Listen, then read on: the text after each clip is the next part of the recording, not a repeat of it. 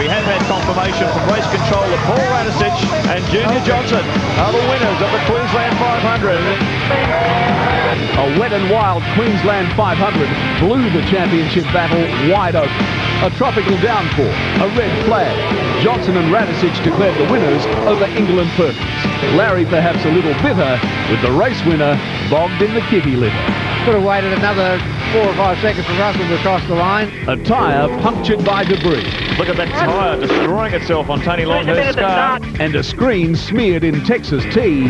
Not just a dirty screen, that's oil. Cost HRT any chance of victory.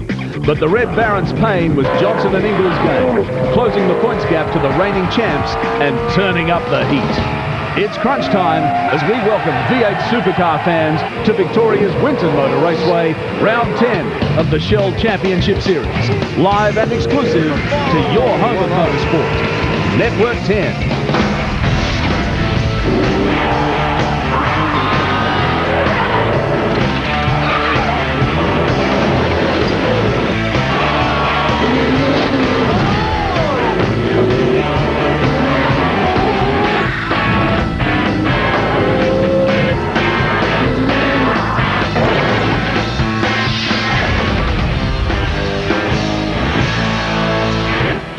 I'm Matthew White. Welcome to round 10 of the Shell Championship Series at Winton Raceway in northeastern Victoria. And after 38 points maximum on offer, let's put that into context for you. Mark Skaife is your championship leader with 2,270 points. He's 104 points clear of his teammate Jason Bright. He's 208 points ahead of Steven Johnson, who is leading the Ford charge, and 262 points clear of Russell Ingall.